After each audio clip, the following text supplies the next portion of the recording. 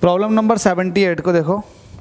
78 ये कह रहा if both the speed and radius of the circular path of a body are doubled आपके पास एक सर्कुलर पाथ है, उसमें रेडियस और आपने रेडियस और किसको रेडियस और स्पीड को आपने डबल कर दिया। तो आपसे कह रहा how will the centripetal acceleration change तो सेंट्रीपिटल एक्सिलरेशन पे क्या फ़र्क पड़ेगा?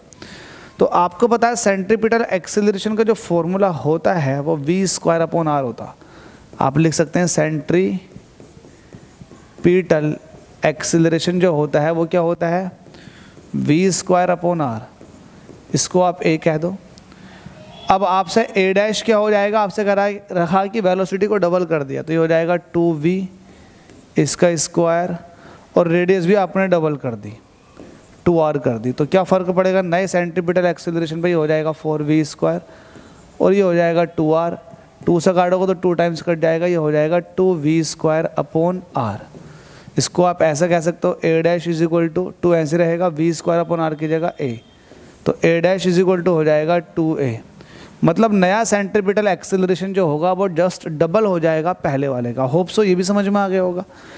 टफ नहीं लगना चाहिए। थैंक यू सो मच अगली प्रॉब्लम में मुलाकात करते हैं।